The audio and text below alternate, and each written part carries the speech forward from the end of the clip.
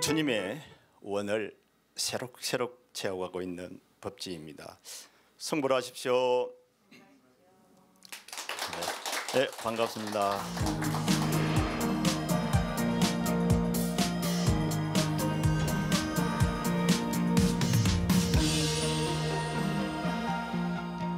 길은 없다. 제 16강으로 백장사와 백장선사 백장선사와 백장사 편을 가지고 같이 한번 생각해보고 공유하고 공감하도록 해보겠습니다.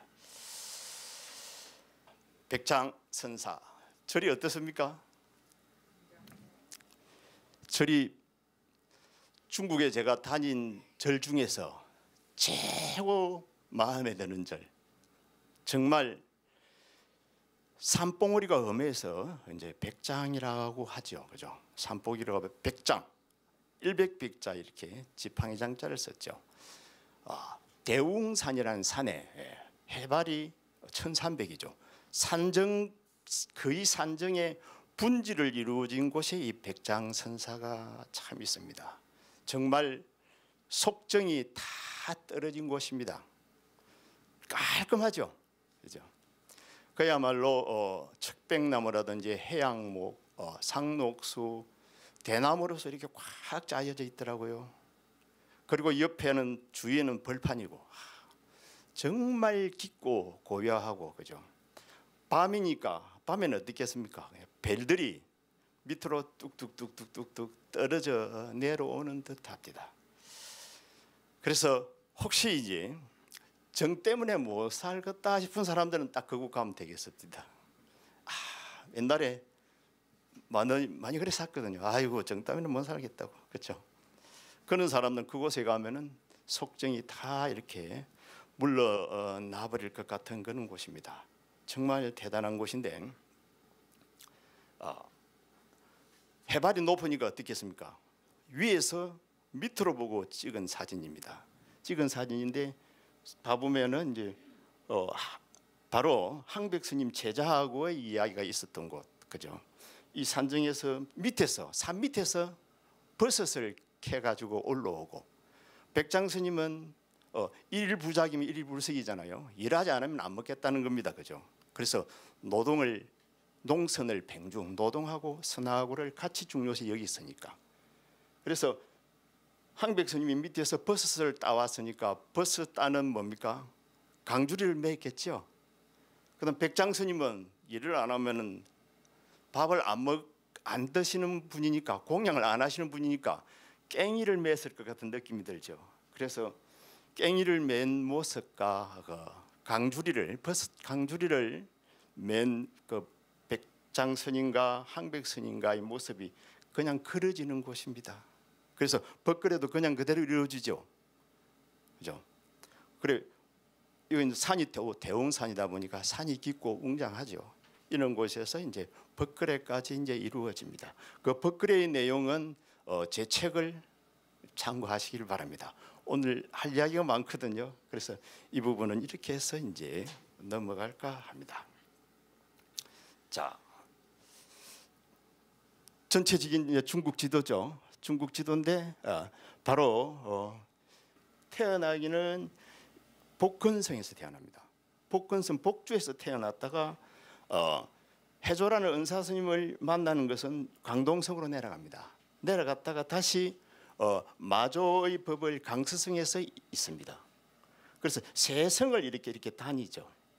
세 성을 다니는데 강서성이 이제 우리나라 북한하고 남한하고 크기만 합니다. 그렇게 보면 이 세 성을 합치면 주에 다닌 것 같지만은 사실은 어, 제법 크다고 봐야죠. 옛날에는 또 어, 주로 걸어서 다녔을 테니까 말입니다. 그래도 나라가 크다고 좋은 건 아닙니다. 좋은 거 맞습니까? 절대 아닙니다. 나라가 작다고 좋은 거 맞습니까? 또 그것도 아닙니다. 장단점은 딱 다 가지고 있습니다. 언젠가 여기에 대해서도 한번 같이 한번 생각해 볼 또 필요성이 있습니다. 그죠? 네. 자.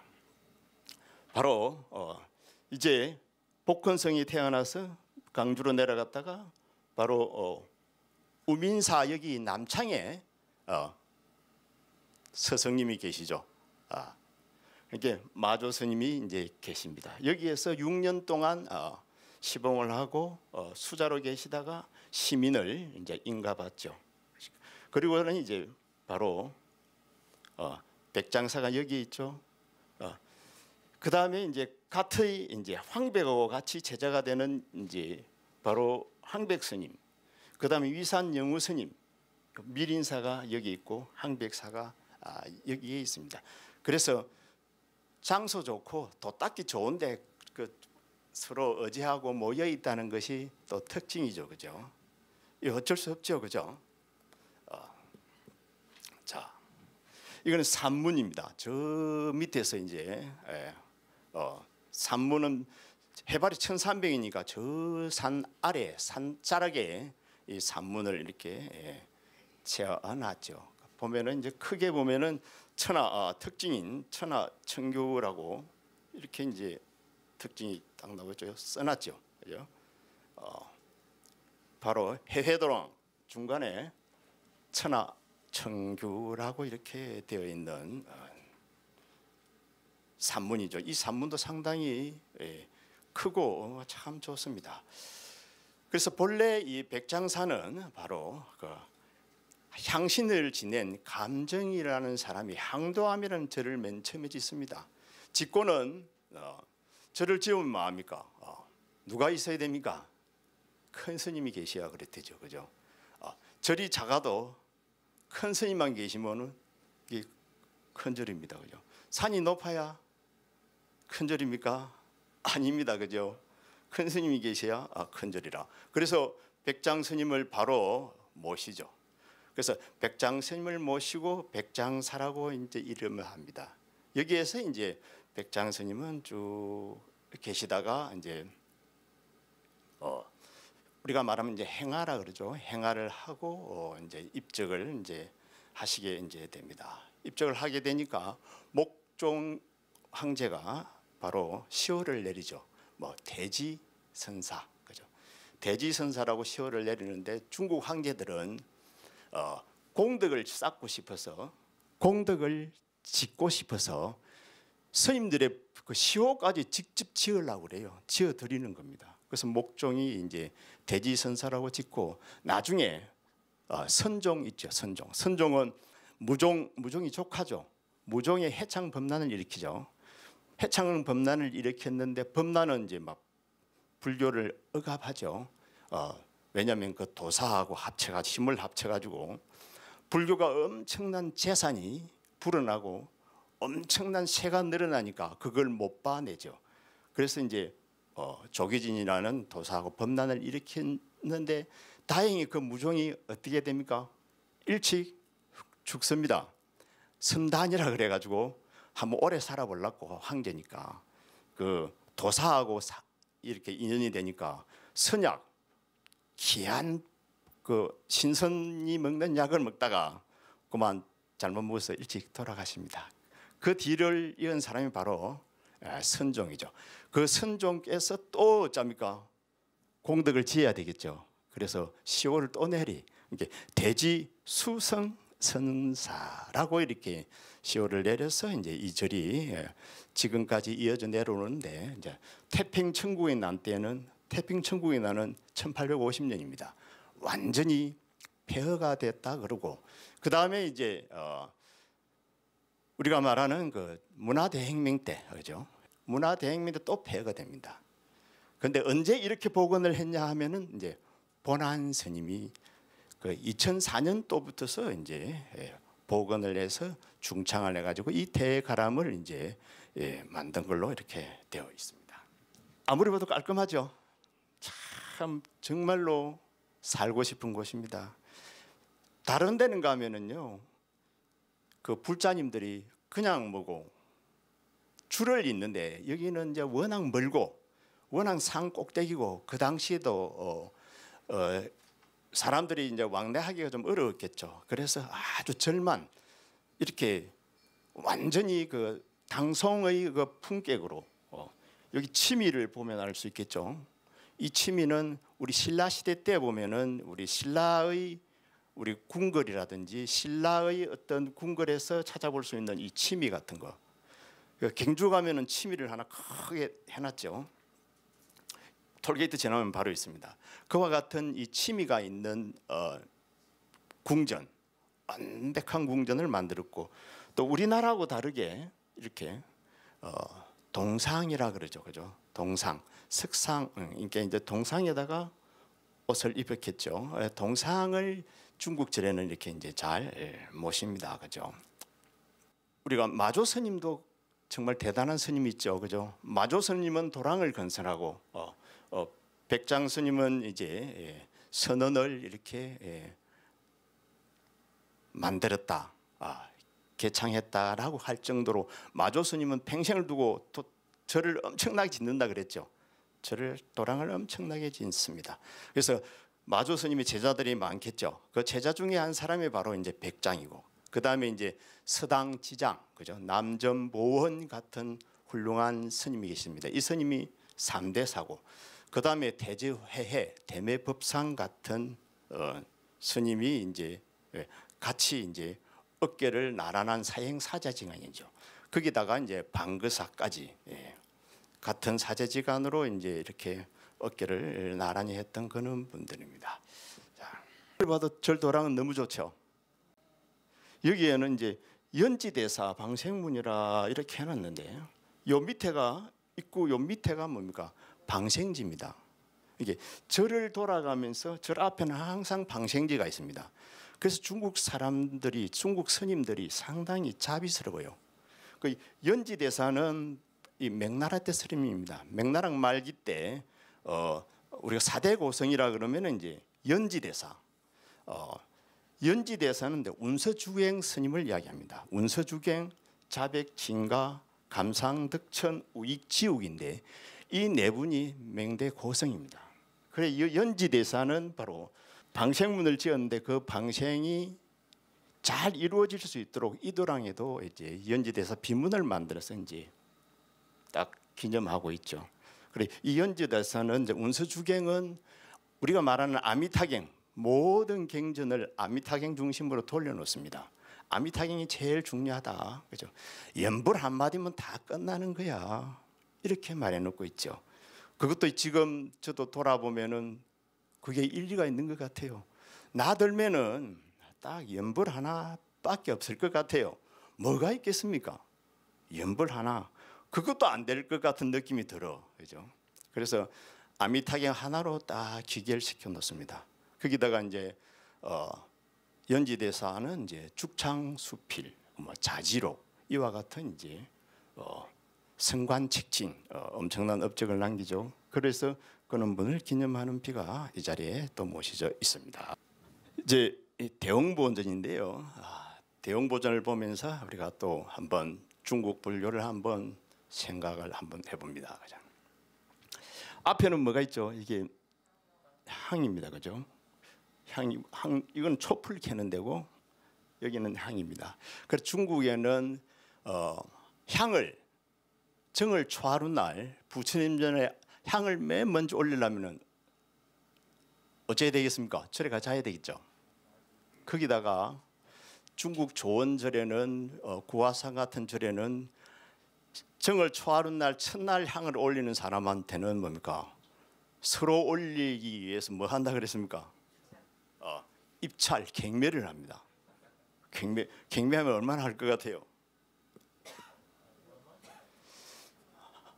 천만 원? 아, 가서 직접 가서 물어보이소. 엄청납니다. 어쨌든 아예 향을 주문 제작을 해가지고 손자를 시켜서 내가 봤는데요. 어깨 메고 오는 겁니다. 어깨에 메고 향을 메고 와가지고 막 꼽는 겁니다. 왜 그럴까요? 그렇게 큰 향을 만들어서 부처님 전에 올리면 해가지고 자기가 원하는 바를 이루겠다는 거죠, 그죠? 그 이루어질까요? 안 이루어질까요?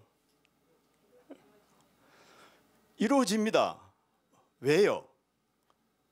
이루어질 때까지 올리거든. 이루어질 때까지. 될 때까지 해버린다니까? 그러니까 되는 거지. 그죠?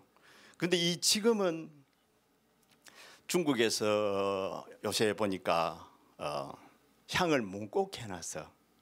작은 항만 꼽도록 해놨어. 왜 그럴까요? 어, 아, 매연 때문에. 근데 그것을 중국 사람들은 그것을 그대로 받아들이고 잘 실천을 해요. 좋은 겁니까? 한번 생각을 해봐야 됩니다, 그죠? 중국에는 뭐가 셉니까? 법이 셉니다. 사람보다도 법이 우선인 것 같습니다. 아까 바로 우리 백장 스님이 주장한 게 뭡니까? 자유인 아닙니까? 특히 우리 불자들은 자유로 갑니다. 내 마음의 자유, 정신의 자유, 육체의 자유. 몸이 아프더라도 육체를 자유로 만들어 버립니다. 이 수행이 자유로 가고 있는데 이제 저짝에는 이렇게 구속을 하는 겁니다. 그죠? 법으로서 구속하는 겁니다. 그러니까 법이 세면은 나라가 좋은 나라입니까? 아, 안 좋은 나라입니다. 오직 못 나서면 법이 세집니까? 모든 것이 자율적으로 이제 문화 의식이라 그래야 되겠죠. 문화 의식 같은 수준이 자꾸 높아지도록 해야 됩니다. 그죠? 그런데 나라가 크면 잘 안 되겠죠. 우리 지방자치제 잘하고 있는 겁니다. 그죠? 지방자치제, 시자치, 그 다음에 군, 그 구자치, 동자치, 좀 자치제로 다 바뀌어야 됩니다. 그죠? 그래야만이 서로가 서로를 잘 알고 잘 돕고 이해하고 이러는 가운데 이제 모든 범죄 같은 것은 자동적으로 없어지겠죠. 그죠? 이번에 보니까 뭐 정인이 같은 사건은 옆에 주위 사람들이 있으면 그래 못 하거든요. 보는 사람이 있는데 어떻게 그래 합니까? 알죠? 어린애를 이렇게 구타를 해서 죽이다 안 합니까? 이런 일이 서로가 모르고 예면하고 사니까 그런 겁니다. 그래서 자치제처럼 해가지고 서로 잘 알고 구청에서도 동해에서도 한 번씩 자주 들여다보고 뭐 우지대도 사고 이렇게 이런 시대가 와야 됩니다. 그 시대가 오면은 자유인이 되는 거죠. 그죠? 그래 나라가 크면은 관리하기 바빠서 안 됩니다. 그죠? 그래서 앞으로 나라들은 어떻게 될 것 같아요? 세상의 나라들은 다 저는 찢어진다고 생각합니다. 전부 다, 다 작은 나라 자치국으로 다 바뀌는 겁니다.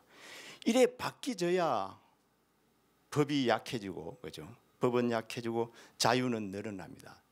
스스로 가벼워지는 때가 오는 거죠. 그런데 나라가 크면 다못 살피잖아요. 얼마나 못 살핍니까? 저도 요새는 안 그런데 저도 중국에는 나라가 크잖아요. 처음에 전 가가지고 이제 자전거를 샀어요. 자전거도 이제 이제 이야기를 많이 듣죠. 잘못하면 이자 뿌니까 누가 타고 가버리니까 딱 중고를 사죠. 중고를 사면 얼마 안 해요. 새 거도 한 5만 원 정도밖에 안 하는데 중고를 사가지고 딱 이렇게 어디에 놔놓습니까? 타고는 열쇠를 채서 잘 매어 놓습니다. 잘 매어 놨는데도 어떻게 그몇 분을 샀는지 몰라요. 그때 중고를. 그래가지고 안 돼가지고 앞에도 묶어놓고 뒤에도 묶어놓고 묶어놨 나중에는 아, 안장까지 빼가버려. 그래 이게 뭡니까? 그렇기 때문에 법을 강화시킬 수밖에 없잖아요. 관리가 안 된다는 겁니다. 그래서 자체적으로 관리가 잘 될라 그러면은 이제 자꾸 어, 단위가 작아지면서 서로가 잘 알고 문화적으로 성숙돼야만이 이 자유로운 세계가 이제 되는 겁니다. 그래서 앞으로 우리 사람들의 인권이 이렇게 자꾸 커지면서 자유가 늘어나면서 어, 미국 같은 나라도 더 쪼개지고 중국도 더 쪼개지고 그래야 됩니다. 그죠? 근데 정치하는 사람들이 뭐 나쁜 겁니다. 그 사람들은 안 쪼갤라 그럽니다. 도리어 더 크게 만들라 그럽니다. 그래가지고 크게 만들기 위해서 어쩝니까? 자꾸 법을 만들잖아요. 그죠? 법을 만드는 겁니다. 그래서 우리가 어쨌든 자유를 생각하면서 어, 이 세상도 한번 비추어 보고 싶어서 어, 제가 약간의 넋두리를 한번 해봤습니다. 그 다음에 이제 종각, 종루, 고려. 어. 우리가 종루는 뭡니까? 우리도 종, 종이 있죠. 바로 부처님과 중생을 소통시키는 기구라 그럽니다. 그죠? 보통 나태를 경계시키고 그죠? 어. 고루는 이제 뭐 축생을 위해서 한다. 목은 바다 중생이다. 그죠? 음파는 날짐승들을 이렇게 제도하는 걸로 이제 하는데 중국에는 이렇게 고루를 아주 멋지게 해놓습니다. 여기는 이제 고루고 저는 이제 종루입니다. 보통 2층으로 되어 있죠. 음. 어, 북을 치면은 뭡니까 짝대기를 큰 걸 우리는 이렇게 딱 작은 걸 가지고 이렇게 이제 벚골을 치는데 긴 걸 가지고 치는데 정말 듣기도 좋고 아, 잘 칩니다. 자 이제 예, 백장 스님을 한번 뵙겠습니다. 어떻습니까, 우리 백장 스님? 어 정말 할아버지 같죠. 그 95세까지 사셨으니까 정말 할아버지죠. 참 잔주름하고 그래 그림을 진영이죠. 진영을 참 잘 그린 겁니다, 그죠? 그러면서 살은 안 쪘을 것 같고, 그죠? 딱 먹을 만큼만 드시고 청정하게 딱 사셨을 것 같아, 그죠? 도도 엄청나게 이제 예, 높았을 것 같지 않습니까, 그죠? 이게 법력이 이제 음, 아, 대단했을 것 같은 그런 느낌이 들죠. 이 이제 백장 스님은 이제 출가는 당연하게 이제, 이제 어려서 했겠죠, 그죠? 제가 출가의 루트를 이야기 드렸죠. 어, 성은 왕씨였다고 이제 예, 그럽니다. 이제 여러 어, 많은 고사들이 있지만서도 그 이야기들은 어, 제 책을 보고 조금 이렇게 음, 참고를 해주기를 바라고. 자, 백장 선사의 선사상. 선사상은 딱 한마디로 어, 말해버리면은 뭡니까? 딱 자유인입니다. 이 자유 정말 참 소중하죠, 그죠? 법문하신 이 구절을 보면은 금방 이렇게 나타날 수가 있습니다. 아, 영광동로야 행탈건진하니 채로진상의 붉은 문자로다. 진성은 무렴하야 본자 원성이니 달림망년적이여 부리라.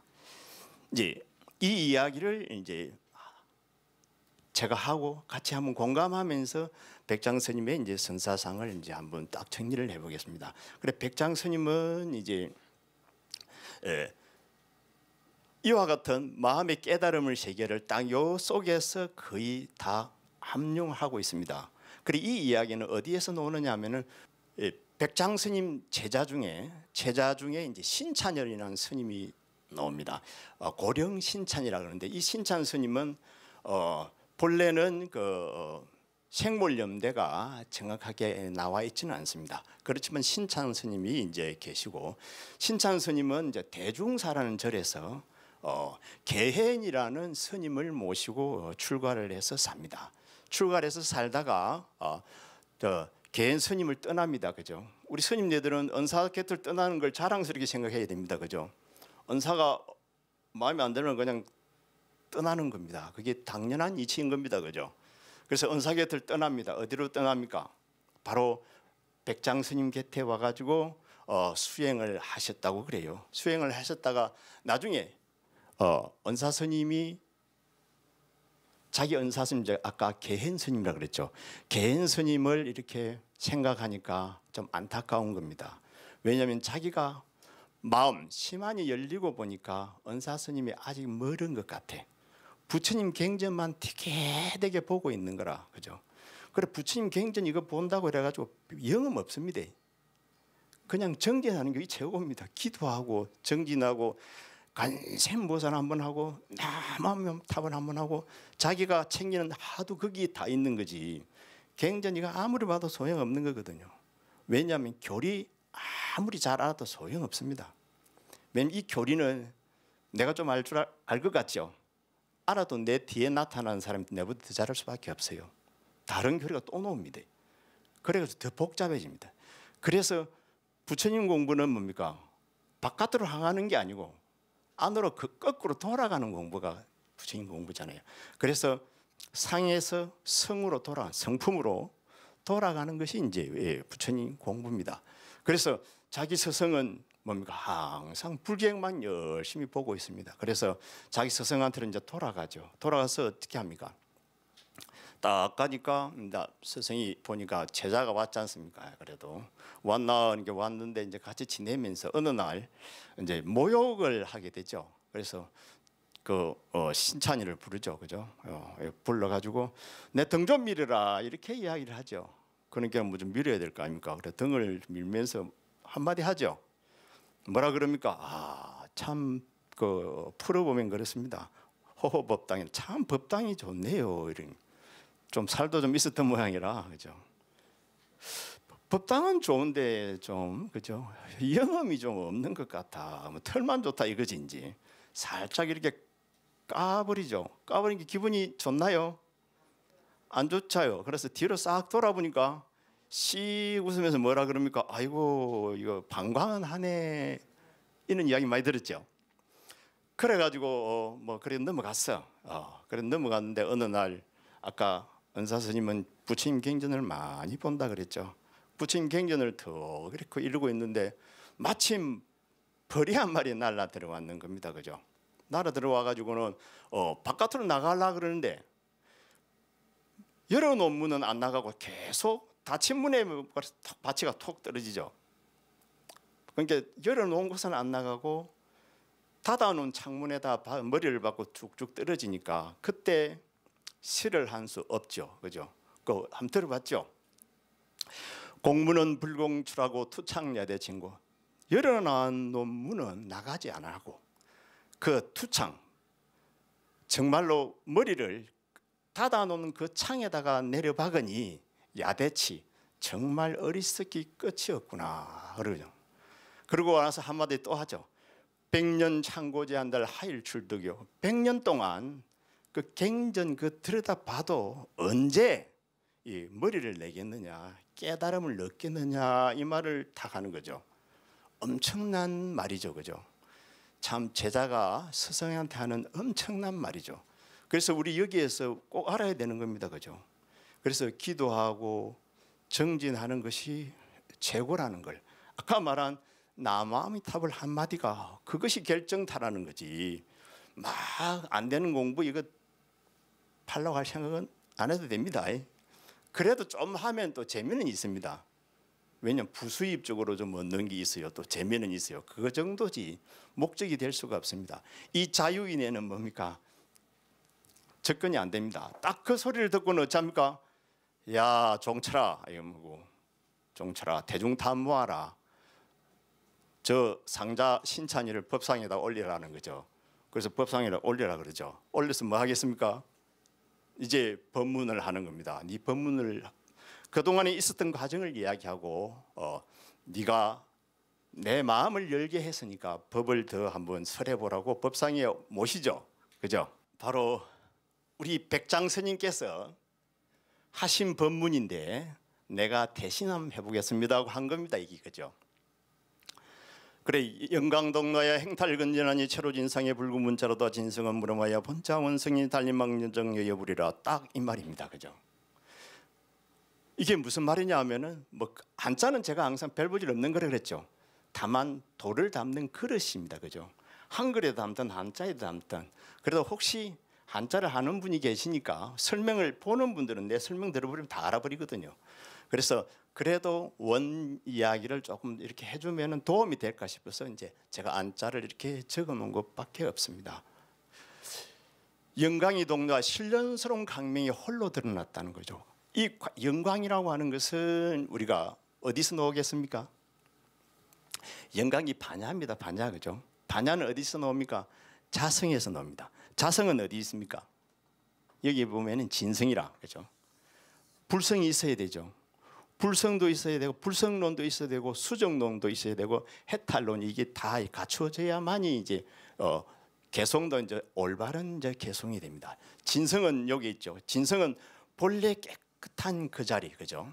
그 자리는 이제 그 자리에서 이제 반야가 이렇게 나와기 때문에 행탈 건지나 모든 티끌 세계에서 벗어났구나 그죠? 그게 채로 진상은 불구 문자로다. 이 진상 여기도 이제 진성의 자리죠. 본래의 자리. 이 본래의 자리가 무슨 자리겠습니까? 우리가 하는 이제 건강경으로 가면은 뭡니까? 바로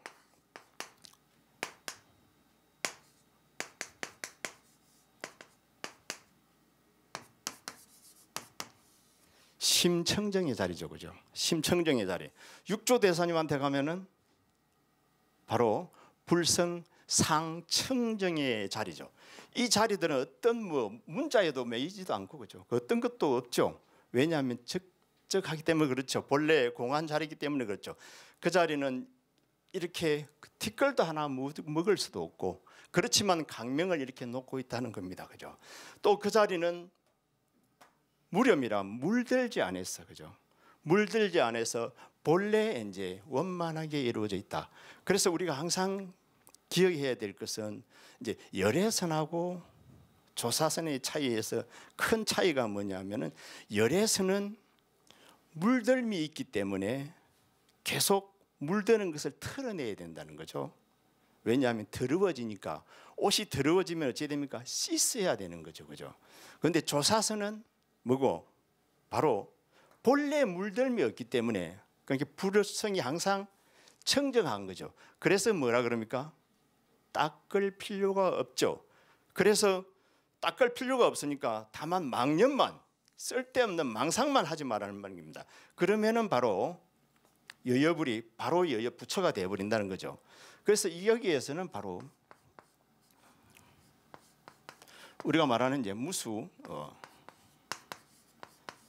예, 무정이 함께 다 들어 있는 거죠. 그래서 당연하게 백장 스님의 시는 조사선의 시로서 품격이 그냥 그대로 나타나고 있죠. 해능 스님이 이전의 것이 아니라 해능 스님의 이후의 것을 그냥 그대로 이 한 편의 시 속에 담고 있죠. 이 시 속에 담고 있는 것을 우리가 한 번 더 이렇게 다시 어, 건강경하고 한번 펼쳐서 봐보면은 연결시켜 봐보면은 건강경에는 뭡니까 우리 스님네들은 강원에 가면 건강경 오가회를 봅니다. 그 보면 이제 육조 스님의 서문이 있는데 딱 서문 첫 자부터가 나옵니다. 그죠? 부건강경이라고 하는 것은 건강경자는 무상을 종을 하고 그죠? 들어봤죠? 무주를 채를 하고 묘유를 용으로 한다 이러났습니다. 건강경이라고 하는 것은 무상을 채로 하고 이제 해능 스님 말씀입니다. 무주를 채로 하고 묘유를 용을 한다는 겁니다.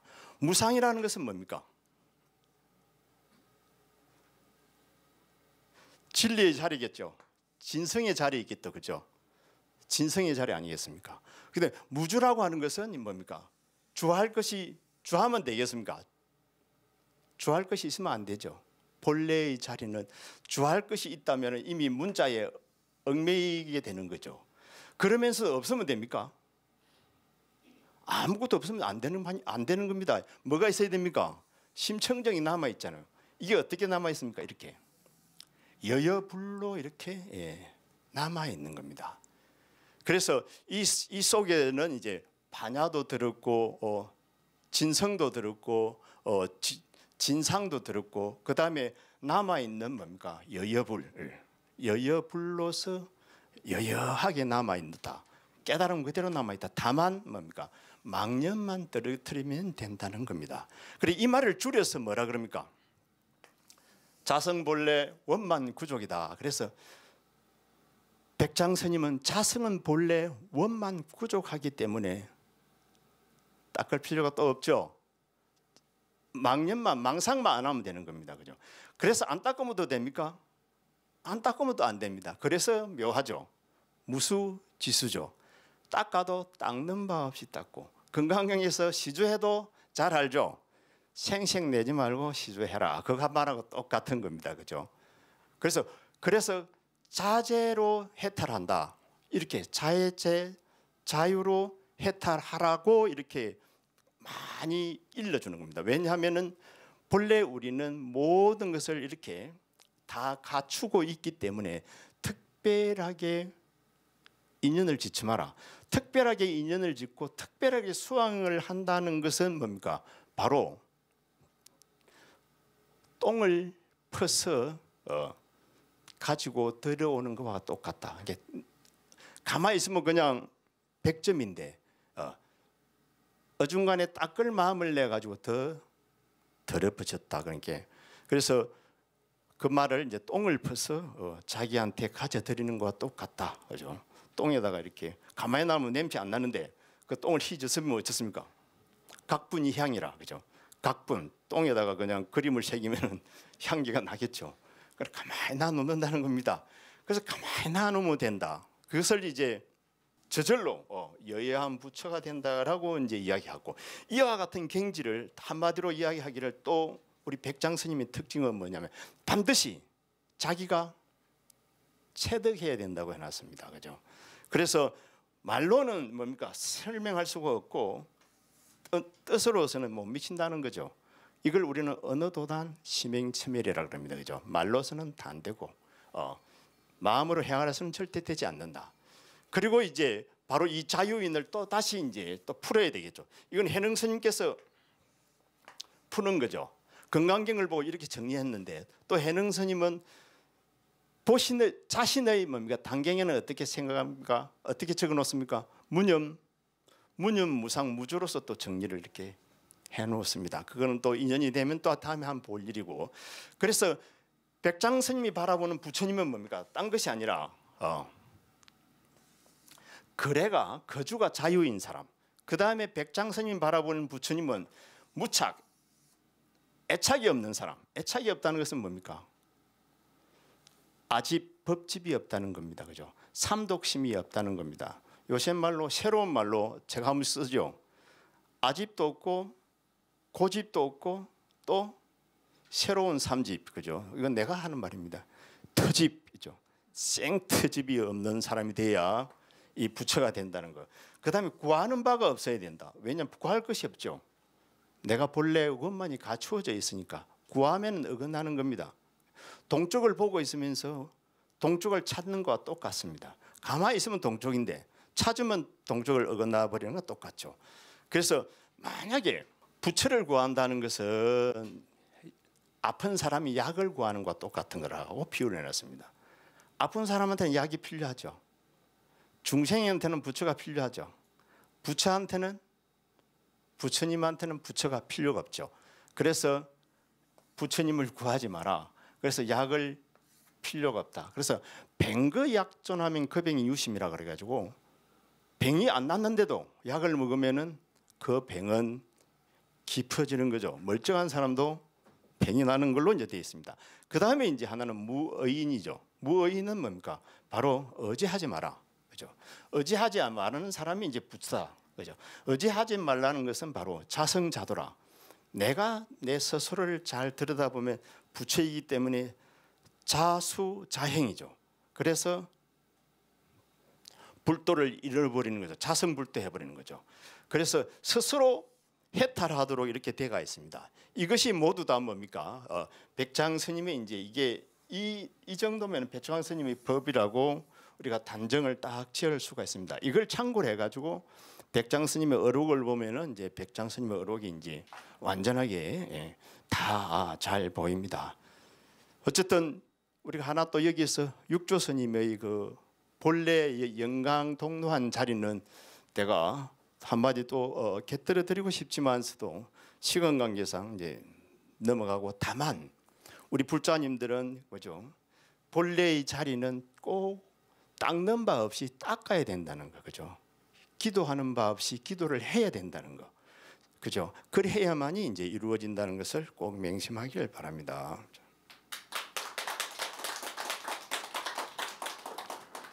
그 다음에 이제 백장야호라고 우리가 그 인가에 관한 이야기죠. 이 이야기도 우리 불자님들이 다 잘 알고 있습니다.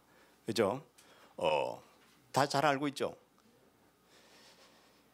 세상에 중국에는 이런 말이 있습니다. 인가에 관한 이야기인데 인가 부처님 법은 인가 응보를 많이 이야기하고 있죠. 그 인가 응보를 최고 안 믿는 부류가 있대요. 어떤 부류가 제일 안 믿을까요? 예? 그래 참 희한하대. 인가 응보를 제일 안 믿는 사람들이 스님들이래요. 스님들. 이 세상에 이게 참 부끄러운 일이라. 이게 바깥 사람들한테는 너들 보시해. 그래 하면 벌 받아. 착한 일 하면서 자기들은 뭡니까? 보신 죽어도 안 하는 거라. 그죠? 그거 뭐다 다 그렇다는 게 아니고 나만 그렇다는 겁니다. 우리 스님들 다 안 그런데 그래서 어쨌든 중국에는 그래요. 그 인가 그 인가를 바로 어, 백장의 해상에서 이제 야호암이라고 돼 있죠. 이 야호암에 이제 얽힌 이야기죠, 그죠? 어, 묻지요, 그죠? 어, 이 백여우가 되어서 백장 스님 해상에서 사는 겁니다. 그래서 법을 듣고 하는 겁니다. 백여우니까 재주가 있겠죠. 무슨 재주가 있습니까? 사람으로 다 한신해 가지고 백장 스님 현장에서 법을 딱 듣고 있는데 어느 날 법을 듣고는 가야 되지 않습니까? 안 가는 겁니다. 왜 안 가느냐 물어보니까 아 나는 옛날에 가석 불때 연등 불 때 내가 훌륭한 수행자였는데 그때 법문을 하나 잘못해가지고 그 법문 잘못한 인가로서 여우가 됐다는 겁니다. 그 무슨 법문이냐 물어보니까 어떤 수행자가 와서 묻더래요. 어, 무슨 뭐를 물었습니까? 대성학인도 이렇게 수행하는 사람도 깨달음을 얻은 사람도 인가를 받느냐 안 받느냐를 물어보더래요. 그래서 뭘 했다고요? 뿌로 인구 이렇게 아, 인가를 안 받는다. 인가에 안 떨어진다는 겁니다. 그 법문 잘못해 가지고 여몸을 받았다는 겁니다. 그래서 우리 스님네들 법문 잘해야 돼. 잘못하면 완전 지옥문이 그냥 열려 있는 겁니다. 그래서 이게 어떻게 하면은 좋은 법문이 됩니까 하고 물으니까 뭐라 그럽니까? 그럼 좋다. 네가 내한테 다시 한번 물어라. 그럼 내가 답을 할구만. 그래서 어, 스님 뭡니까? 깨달은 사람도 인가를 받습니까? 안 받습니까? 물어보니까 뭐라고 답할게요? 불매인가 이게 부매인구와 이렇게 한 인가에 매하지 않다는 겁니다. 어, 인가에 매하지 않다는 말 무슨 말인지 알죠? 인가를 받기는 받는데 안 받는다는 거 아닙니다. 받기는 받는데 받을 줄 안다는 겁니다. 받을 줄 알므로써 극복이 되는 겁니다. 그죠? 내가 돈을 천을 잃어버렸는데 잃어버릴 줄 안다는 겁니다. 잃어버릴 줄 모르는 사람은 어떻습니까? 그 천 원을 밤에까지 자면서 가슴에 담고 있는 겁니다. 저 천 원을 저 보살이 훔쳐갔지, 저 처사님이 훔쳐갔지. 내일 오면 어떻게 해가지고 어떻게 갈글 거라고 막 가지고 있는 거고 깨달은 사람은 그래 아 그 돈은 어디 어디 내가 보시가 잘 되었구나 이렇게 딱 생각하고 이렇게 인간은 받는데 그죠 매하지 않기 때문에 극복된다는 겁니다. 그와 같은 이야기가 이제 예, 담겨 있는 겁니다. 워낙 중국은 그 절들이 가지고 있는 전설의 이야기들이 너무 많아서 하고 싶은 이야기가 사실은 너무 많아요. 그래서 그런 이야기들은 이제 약간 이제 책으로서 제가 참 대신하고 그런 중요한 이야기들만 제가 대충 대충 해서 어, 넘어간다는 것을 이제 참고로 해주시고. 자 다음번에는 제가 제 17강으로 그죠? 어, 청량사와 법왕문인 선사편을 가지고 이야기할 건데요. 오늘 이야기와 연지대사 이야기와 어, 우리 불교의 법이 하나로 이렇게 모아지는 성과 정토가 합해지고 하나로 모아지는 성과 정토, 성과 화음이 이렇게 합해지는 이런 현상이 일어납니다. 이와 같은 현상이 일어나는 걸 가지고 우리가 같이 한번 또 생각해 볼 겁니다. 왜냐하면 그게 어떻게 합해져야 되는가? 합해더라도 어떻게 합해져야 되는가? 우리가 남북 통일돼야 되죠. 돼야 됩니까? 안 돼야 됩니까? 안 돼도 됩니다. 되면 좋겠죠. 근데 억지로 될 필요는 없습니다. 어, 내가 욕 먹을란가 모르겠는데 왜냐하면 부처님 법으로 생각해 보면 그렇습니다. 어, 그것을 이제 다음 편에 같이 한번 생각해 볼 겁니다. 딱 부처님 법에 맞게 말입니다. 자, 합창해 주십시오.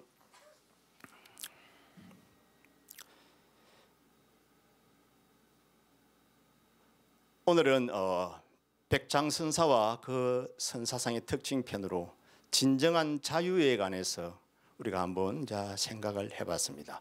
그리고 백장 스님이 선법으로서 어, 선언이 독립되고 어, 보청법으로서 어, 절에서도 어, 자급자족을 할수 있게 되었다는 것을 알았고 그 다음에 아무리 높은 수행을 하더라도 인가를 안 받는 것이 아니라 인가에 매하지 않고 그 인가를 극복한다는 것을 이제 우리는 배웠습니다.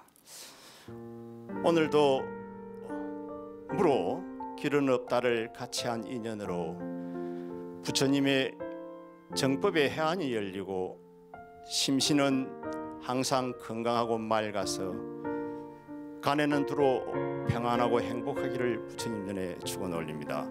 성불하십시오.